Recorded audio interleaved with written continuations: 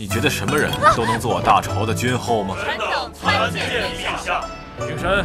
你究竟是何人？蓝衣军统领荡寇将军谢宇安。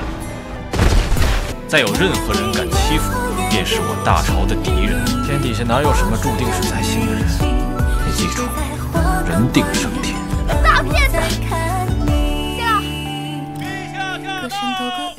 朕的朱颜公主真是久违了。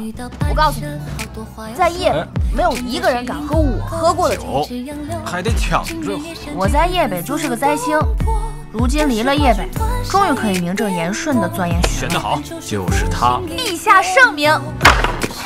啊，你也是来偷书的？你是来偷书的？我是来抓偷书贼的。陛下怎么来了？陛下。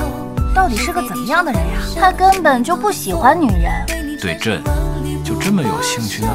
啊！臣仰慕陛下，顺着杆子往上爬的本事，你倒是炉火纯青啊！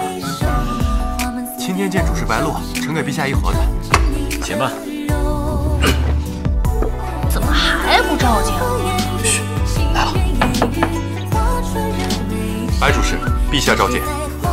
那咱们就开始吧。哎。你还没算匀呢，这点点数我就算你，当什么行算师？以后云居楼随你去吧。你早说啊，不许反悔啊！